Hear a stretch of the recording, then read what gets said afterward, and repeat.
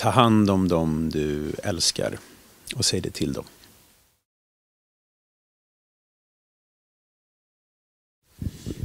Min bästa ålder är nog fem.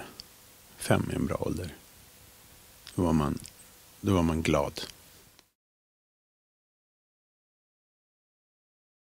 Jo, jag har alltid haft en dröm om att åka till Svalbard och göra en lång resa till Svalbard. Det är en, det är en dröm som jag inte hunnit med än, som jag verkligen vill göra.